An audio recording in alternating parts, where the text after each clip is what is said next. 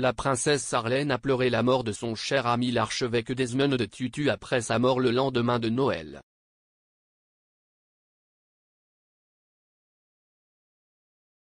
La royale monégasque s'est rendue sur Instagram pour exprimer sa tristesse face au décès de l'évêque anglican sud-africain. Partageant quelques photos avec lui, la princesse de Monaco a partagé un message touchant.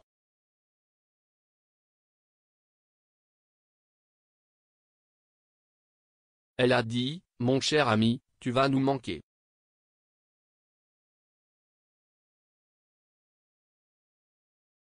Je sais que vous êtes aux côtés de nos pères.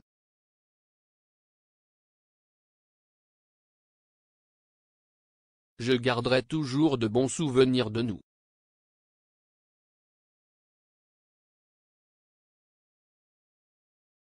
Et ton rire restera dans mon cœur pour toujours. Point repose en paix.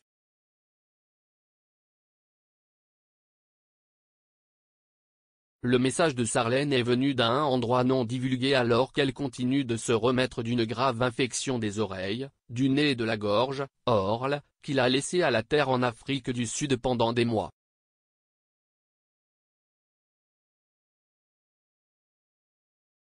Son message personnel intervient après que son mari, le prince Albert, a fait le point sur l'état de sa femme avant les vacances.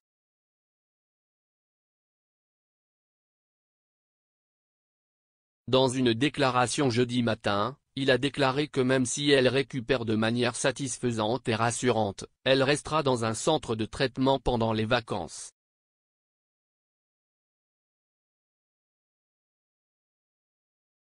Il a déclaré, le palais princier souhaite partager les informations suivantes concernant la santé de Sas la princesse Sarlène. Sas la princesse Sarlène récupère de manière satisfaisante et rassurante, même si cela peut prendre encore quelques mois avant que sa santé ne se rétablisse complètement.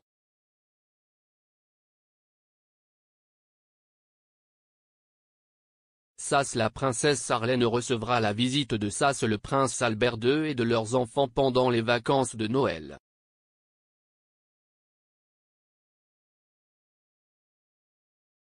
Une fois sa santé assez solide, la princesse a hâte de passer du temps avec les monégasques.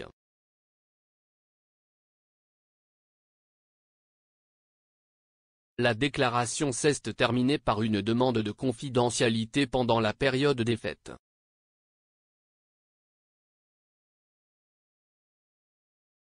Il disait, pendant cette période de convalescence, le couple princier demande gentiment que leur intimité et leur environnement familial restent bien respectés.